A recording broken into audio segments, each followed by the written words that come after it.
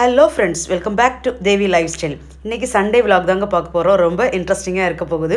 ஆறு மாத விரதத்தை முடித்து வீட்டுக்குள்ளாரே இருந்தோம் இல்லையா? அந்த விரதத்தை முடித்து நாங்களும் ஒரு அவுட்டிங் கிளம்பிட்டோம். நம்மள மாதிரியே பசங்களுக்கும் ஸ்ட்ரெஸ் இருக்குங்க. அதை எப்படி கண்டுபிடிக்கலாம்னா திடீர்னு அழுவாங்க திடீர்னு கத்துவாங்க அடம் பிடிப்பாங்க.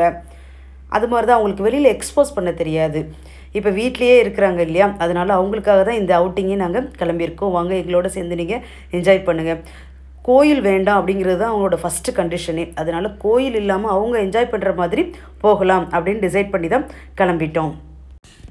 பிரேக்ஃபாஸ்ட்லாம் முடிச்சுட்டு ஒரு லெவன் தேர்ட்டி போல் கிளம்பிட்டோம். லஞ்ச் பண்ண வேணாம் அப்படின்னு சொல்லிட்டாங்க. லஞ்ச் பண்ண வேண்டாம் அப்படின்னு ஒரு லேடிஸ்க்கு ஒரு ஹவுஸ் ஒய்ஃபுக்கு சொன்னாலே போதும் இல்லையா? அது ஒரு பெரிய கிஃப்ட் மாதிரி இருக்கும் இல்லையா நம்மளுக்கு? வாங்க ஒரு ரெண்டு இடம் கவர் பண்ணலாம் அப்படின்னு ஒரு ஐடியாவில் தான் போகிறோம் ஃபஸ்ட்டு எங்கே போகிறோம் அப்படிங்கிறத பார்க்கலாம். மால் வேண்டாம் கோவில் வேண்டாம் அப்படின்னதுக்கப்புறம் அடுத்த ஒரு பிளேஸ் அவங்களுக்கு பிடிச்சதுன்னு பார்த்தா பீச் தான் இல்லையா? கண்டிப்பாக ஒரு ஒன் ஹவர் ட்ராவலிங்கில் நம்ம இப்போ கோவளம் பீச் போகலாம் அப்படின்னு சொல்லி கோவளம் பீச்சுக்கு நாங்கள் வந்துட்டோங்க. அங்கே ஃப்ரெஷ்ஷாக மீன் வந்து உடனே போட்டில் பிடிச்சி விற்பாங்க அப்படின்னு கூட சொல்லியிருந்தாங்க. அதை நான் இன்னும் பார்த்ததில்ல அப்படிங்கிறனால வாங்க அதை காமிக்கிறேன் அப்படின்னு சொல்லி என் ஹஸ்பண்ட் கூட்டிகிட்டு போனாங்க. பசங்க ரெண்டு பேரும் ரொம்ப எக்ஸைட் ஆகிட்டாங்க பாருங்கள் என்ன சேட்டை பண்ணிக்கிட்டு வர்றாங்க அப்படின்னு என் பையன் தான் ரொம்ப சேட்டை. கோவளம் பீச் என்ட்ராகிறதுக்கு முன்னாடி இந்த மாதிரி ஒரு பஜார் ரோடு இருக்குது இங்கே ஒரு பெரிய மசூதி இருக்குது அதனால் இன்றைக்கி பயங்கர கூட்டமாக தாங்க இருந்தது. எப்போ முன்னாடி ஒரே ஒரு தடவை இந்த கோவளம் பீச் வந்திருக்கோம். ரொம்ப லோன்லியாக இருக்கும். அப்படின்னு நினச்சிட்டு தான் வந்தோம். ஆனால் இன்றைக்கி பார்த்தீங்க அப்படின்னா நல்ல ஒரு ரஷ் இருந்துச்சு. இங்கே பார்த்தீங்கன்னா இந்த மாதிரி போட்டில் மீன் பிடிச்சிட்டு வராங்க. பிடிச்சிட்டு வந்ததுக்கப்புறம் அதையெல்லாம் இறக்கிட்டு ஏலம் கூட விடுவாங்க. அது கூட்டத்தை பொறுத்து அப்படிங்கிற மாதிரி சொன்னாங்க. அந்த மாதிரி ரொம்ப நிறைய மீன்லாம் இல்லை ஒவ்வொரு போட்லேயுமே ஒரு அளவாக தான் கொண்டு வராங்க. கொண்டு வந்தோன்னே அதை ஏலம் போடுறாங்க இல்லை அதை வாங்கிட்டாங்க அப்படின்னா அதை முடிச்சிடுறாங்க. ஒரே வெரைட்டி மீன் இங்கே கிடைக்கிறது இல்லைங்க. வெரைட்டி நிறைய வெரைட்டி கிடைக்குது. இது வந்து பெரிய கோலா மீன் அப்படின்னு சொன்னாங்க. இது நியர்லி எப்படியும் ஒரு சிக்ஸ் டு செவன் கேஜி இருக்கும்னு நினைக்கிறேன். இது பெரிய மீன் தான் இந்த இங்கே மீன் வாங்கணும் அப்படின்னா உடனே கட் பண்ணி அதை நம்மளுக்கு க்ளீன் பண்ணி கொடுத்துட்றாங்க.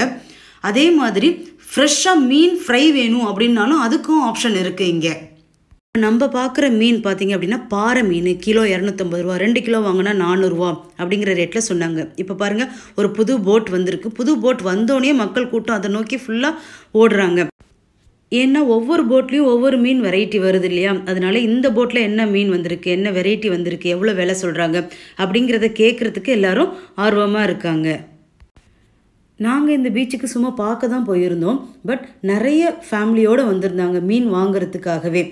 இந்த மாதிரி வந்த உடனேயே ஒரு ஒரு போட்டில் இருக்கிற மீன் வந்து டக்குன்னு ஒரு ஃபிஃப்டீன் மினிட்ஸ்லேயே காலி ஆயிடுதுங்க அதை வாங்கிட்டோம் அப்படின்னா அவங்களே அதை க்ளீன் பண்ணியும் நம்மளுக்கு கொடுத்துட்றாங்க. இது அடுத்த போட்டில் இருக்கிற மீன் வெரைட்டி ஒவ்வொரு போட்லேயும் ஒவ்வொரு வெரைட்டி தான் வருது அப்படின்னு சொன்னேன் இல்லையா? இதில் ஒரு பெரிய மீன் வெரைட்டி கூட இருக்குது ரெட் கலரில் ஒரு மீன் இருந்தது. அது என்னன்னு எங்களுக்கு தெரியல. அது மீனா என்ன அப்படிங்கிறது கூட நாங்கள் பார்த்து பசங்கள்லாம் ரொம்ப அட்மையர் ஆகிட்டு இருந்தாங்க அந்த மீன் பேர் வந்து கோழி மீன் அப்படின்னு சொன்னாங்க. அது நல்ல ரெட் கலரில் இருந்தது. இங்கே நிறைய மீன்லாம் பொறிச்சு விற்றாங்க பட் புரட்டாசி அப்படிங்கிறனால ரொம்ப கண்ட்ரோல் பண்ணிவிட்டு பசங்களை நாங்கள் கூட்டிகிட்டு வந்துட்டோம். ஈஸியர் ரோடு அப்படிங்கிறதுனால இங்கே நிறைய பேர் சாப்பாடெலாம் கட்டிட்டு வந்து ஒரு டூர் மாதிரி என்ஜாய் பண்ணிக்கிட்டு இருந்தாங்க. நாங்கள் இந்த ஹோட்டலில் தாங்க சாப்பிட்டோம். ஒரு வெஜ் ரெஸ்டாரண்ட் திருமுரு ஆற்றுப்படை அப்படின்னு அந்த ஹோட்டல் பேரே எங்களுக்கு ரொம்ப பிடிச்சிருந்துச்சு. நல்ல பசியில் இருந்ததுனால அதை வீடியோ எடுக்க முடியல. நெக்ஸ்ட்டு நாங்கள் மகாபலிபுரம் ரீச் ஆகிட்டோங்க இப்போவே மணி வந்து ஒரு டூ தேர்ட்டி ஒரு த்ரீ ஓ கிளாக் போல் இருந்தது. இங்கே இந்த மாதிரி மணி செட்டு எனக்கு ரொம்ப பிடிச்சிருந்துச்சு. இந்த கிறிஸ்டல் மணிலேயே நிறைய வெரைட்டி இருக்கும் இல்லையா? இதில் நான் கூட ரெண்டு மணி வாங்கியிருந்தேன். அவங்க ரேட்டு சொல்லுவாங்க பட் நம்ம தான் கொஞ்சம் கம்மி பண்ணி வாங்கணும்னு நினைக்கிறேன். ஏன் அப்படின்னா எனக்கு நூற்றி நாற்பது ரூபா சொன்னாங்க ஆனால் நான் வாங்குறப்ப எண்பது ரூபாய்க்கு வாங்கினேன். இன்னும் கொஞ்சம் பேசியிருந்தா கூட இன்னும் கம்மியாக கொடுப்பாங்களா என்னன்னு தெரியல. நான் இதில் ரெண்டு மணி வாங்கியிருந்தேங்க.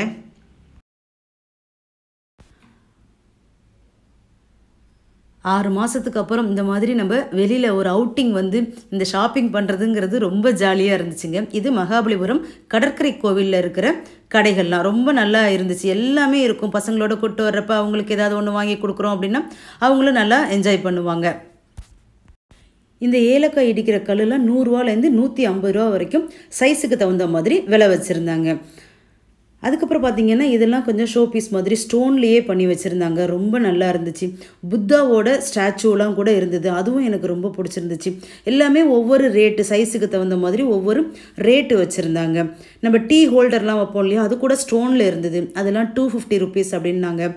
இந்த புத்தா ஸ்டாச்சூஸ் எல்லாம் உங்களுக்கு த்ரீ ஃபிஃப்டிலேருந்து இருக்குது அப்படின்னு சொல்லியிருந்தாங்க. ரொம்ப நல்லா எக்ஸலண்ட்டாக இருந்ததுங்க. ஃபைபர் பிளேட்ஸு கப்ஸு அப்புறம் பீங்கான் ஜாடியெல்லாம் ரொம்ப சைஸ் வாரியாக ரொம்ப ஷேப்லாம் கூட அழகழகாக இருந்துச்சு. இந்த பிளேட்லாம் பார்த்தீங்க அப்படின்னா சின்ன பிளேட் வந்து மூணு பிளேட்டு நூறுரூவா பெரிய பிளேட்டு ரெண்டு பிளேட்டு நூறுரூவா அப்படின்ற ரேட்டில் அவங்க விற்றுட்ருந்தாங்க இது கடற்கரை கோவில் அப்படிங்கிறதுனால இங்கே நிறைய வெரைட்டிஸ் ஆஃப் சங்கு சிப்பி ஷெல்லு இந்த மாதிரி நிறைய வச்சுருந்தாங்க இதில். ஒவ்வொன்றும் ஒவ்வொரு ரேட்டில் தாங்க சொன்னாங்க. சின்ன சங் சங்கு கூட இருக்குது பெரிய சங்கு இருக்குது. ஒவ்வொன்றும் ஒவ்வொரு ரேட்டில் சொன்னாங்க. சங்குலேயே நிறைய டெக்கரேட்டிவ் ஐட்டம்ஸ் ஷோ பீசஸ் இதெல்லாம் வச்சுருந்தாங்க. வால் ஹேங்கிங் அந்த சிப்பிலலாம் வால் ஹேங்கிங் இருக்கும் இல்லையா? அதெல்லாம் கூட வச்சுருந்தாங்க. கடற்கரை கோவில் உள்ளே போக முடியலங்க. அது கோவிட்லேருந்து இன்னும் க்ளோஸில் தான் இருக்குது இன்னும் ஓப்பன் பண்ணல அப்படின்னு சொல்லியிருந்தாங்க. இதுதான் அந்த கடற்கரை கோவில். உள்ளார யாருக்கும் இன்னும் அலோவ் பண்ண ஆரம்பிக்கலை.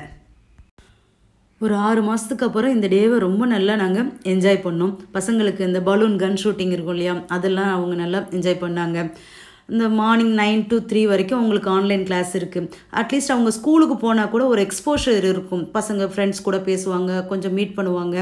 அந்த மாதிரி அவங்களுக்கு ஒரு எக்ஸ்போஷர் இருக்கும். இப்போ ஆறு மாதமாக அவங்க வீட்லேயே இருக்கிறதுனால ஒரு ஸ்ட்ரெஸ் இருக்கும் இல்லையா? அதை கொஞ்சம் பர்ஸ் பண்ணி விடலாம் அப்படின்னு தான் இந்த ஐடியாவோட நாங்கள் இங்கே கூட்டிகிட்டு வந்தோம்.